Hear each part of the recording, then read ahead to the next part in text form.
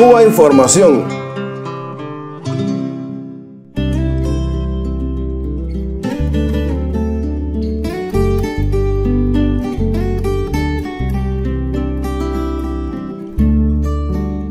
Asir Altuna es el responsable de Latinoamérica de Sortu, partido de la izquierda Berchale, la izquierda independentista vasca, un partido que tiene ya una tradición de relación política con Cuba, con la Revolución Cubana, con sus organizaciones. Y bueno, pues le damos la bienvenida. Egunon, buenos días. Egunon, casco, Bueno, Asier, cuéntanos un poco, antes de presentarnos, bueno, qué es Sortu, eh, háblanos un poco de las relaciones que tiene Sortu, este bueno, partido, mm, digamos, fundamental de la izquierda independentista vasca, eh, las relaciones que tiene con Cuba y con la Revolución Cubana. Bien, bueno, Sortu es la expresión política de la izquierda berchale y bueno, la izquierda berchale desde sus orígenes siempre ha tenido como, como referencia la Revolución Cubana desde el 59 y en ese sentido siempre, sí nos hemos visto reflejados en, muchas y muchas de las políticas que, ha llevado a cabo el gobierno revolucionario y socialista de, de, Cuba.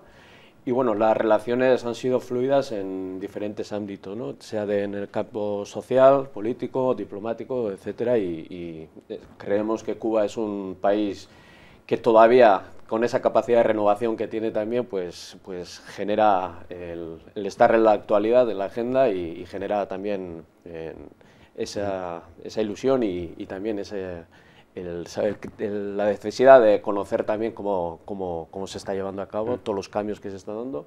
Y en ese sentido, pues Sortu también plantea que es el momento también de, de, hacer esa, ese esfuerzo también, de adquirir iniciativas para que este embargo que lleva más de 50 años en vigor pues acabe y, como tal pues nosotros también queremos aportar nuestro granito de arena como internacionalistas para que, para que esas dinámicas en contra del, del fin, a favor del fin del embargo eh, se lleven a cabo.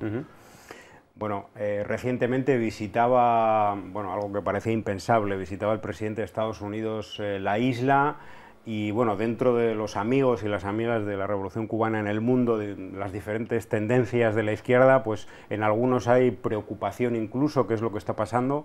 ¿Cómo se ve esto desde tu punto de vista, desde el punto de vista de Sortu también? Bueno, desde el punto de vista de Sortu, por lo creemos que eh, son los últimos escollos que quedan de, lo que fue la Guerra Fría y de lo que fue el, digamos, el mundo anterior, que, bueno, en este nuevo escenario que estamos viendo. Y una de los, uno de los pasos que se está dando es el tema de Cuba y también el proceso de paz en, en Colombia. Yo creo que del, del, siglo XX, sobre todo de los finales del siglo XX, el, lo que más, el cambio que se está dando en América Latina va en ese sentido. En cuanto a la visita de Obama, nos parece histórico, como a todo el mundo, y, y, que crea ilusión también en el sentido de que, bueno, pues cada uno jugará con su estrategia. No creo que América, Estados Unidos haya cambiado de política para ahora convertirse en amigo de la revolución cubana. Ellos tendrán su estrategia, pero creo que los cubanos también tienen definido a dónde quieren ir y qué pasos tienen que dar en ese sentido. Y por un lado, preocupación, como es obvio, porque conocemos la ferocidad del capitalismo y del neoliberalismo y la capacidad de, comer cabezas, como, decimos en esa expresión cultural.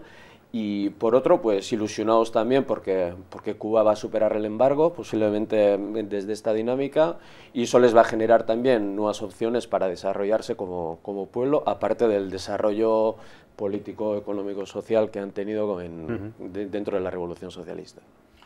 Bueno, el secretario general de Sortu es Arnaldo Tegui, hay que decirlo, un preso de conciencia durante muchos años en las cárceles del Estado español, curiosamente los medios de, este Estado español nos hablan todos los días de supuestos presos, presos políticos, etcétera, tanto en Cuba como en Venezuela, algo bastante curioso, ¿no?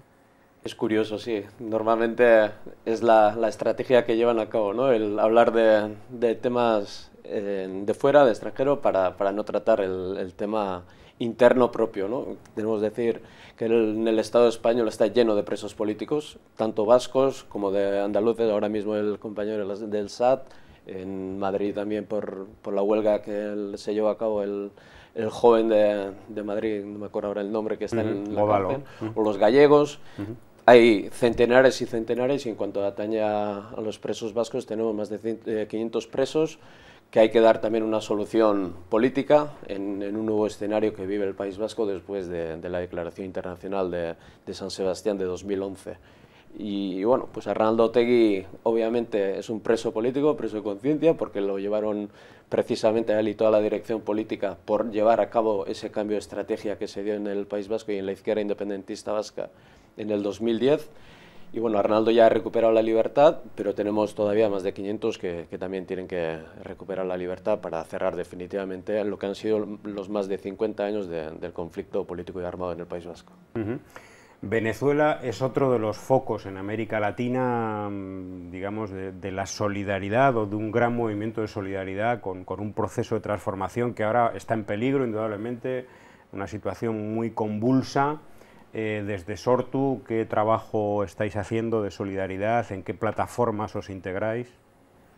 Bien, en cuanto a Venezuela, nosotros creemos que Venezuela fue, junto con Cuba, en el 98 el que levantó la bandera de la, de la dignidad. Bueno, ha habido otros procesos también, el, Chiapas también, el, de los zapatistas, pero digamos el 98 es ese cambio de, de paradigma, ese cambio de, que se da en, en América Latina y Venezuela ha sido el, el que ha liderado, digamos, ¿no? junto con Cuba. Y entendemos que ahora mismo la reacción que se está llevando a cabo contra Venezuela, pues eh, hay que denunciarlo y tanto con, junto con Cuba, nosotros con Venezuela también hemos tenido muchas relaciones, tanto diplomáticas, políticas, con movimientos sociales de, Venezuela. Eh, Venezuela ha acogido a exiliados vascos, eh, eh, como tal, nosotros pues estamos con la, plataforma Venezuela Urrera, trabajando junto con otros partidos, otras organizaciones, vamos a seguir trabajando y, denunciando la estrategia eh, de derrocamiento que se está llevando a cabo contra el legítimo gobierno de, Nicolás Maduro y como tal, pues nuestra solidaridad también con, el pueblo de Venezuela y con el gobierno de, Venezuela.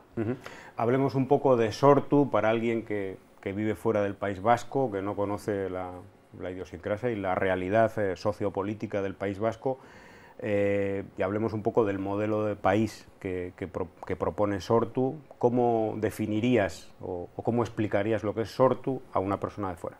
Sí, bueno, como decía antes, eh, Sortu es la expresión política de, de la izquierda Bertzale y bueno, Sortu, entre sus objetivos, eh, está en su estrategia está la construcción de un Estado socialista vasco y se define independentista, socialista, feminista, euskaldun, internacionalista y Sortu trabaja en, en todo ese ámbito para crear bueno, pues ese Estado socialista vasco, pero a la vez entendemos que Sortu, junto con otros cuatro o tres partidos, eh, tenemos opción también para ese trabajo institucional que está por hacer en el País Vasco también desde la izquierda, y ahí tenemos constituido lo que es eh, la plataforma o el frente de izquierdas que se llama Euskal Herria Bildu, en la cual estamos pues Aralar, Euskal Cartasuna, Alternativa y nosotros, y creemos que eh, Euskal Herria Bildu también puede ser y, tiene la, vocación también de ser todavía más amplio y, luchamos para que sea eh, bueno, la, expresión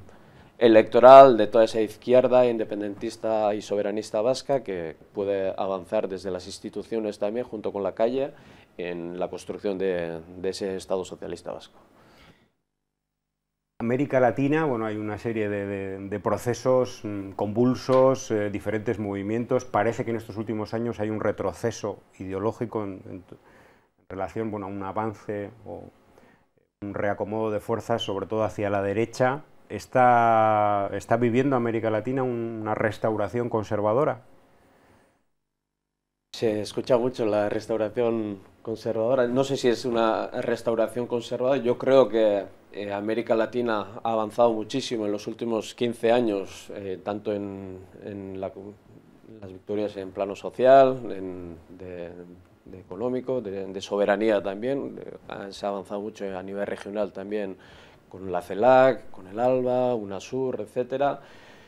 Yo creo que también ha habido errores también por parte de, los gobiernos y de los partidos también y, creo que actualmente hay una estrategia por parte de no solo de las derechas de, América Latina sino a nivel internacional también y con Estados Unidos a la cabeza también que están bueno, erosionando y desgastando ese socialismo del siglo XXI que, que tan, tantos avances ha generado.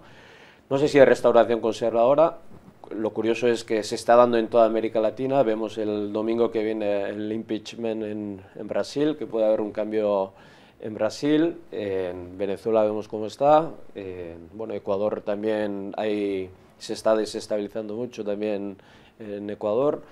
Lo que está claro es que ante esa reacción de, la derecha y, los, procedimientos que está llevando a cabo, eh, exige también una reacción de, la izquierda y una reacción democrática para salir a la calle y, defender también eh, todos esos cambios que, se han dado y tantos frutos se han dado en América Latina. Por lo tanto, no sé, reacción, eh, ¿cómo le llaman? Restauración, conservadora puede haber, no sé, no, no, no entraría a esa definición.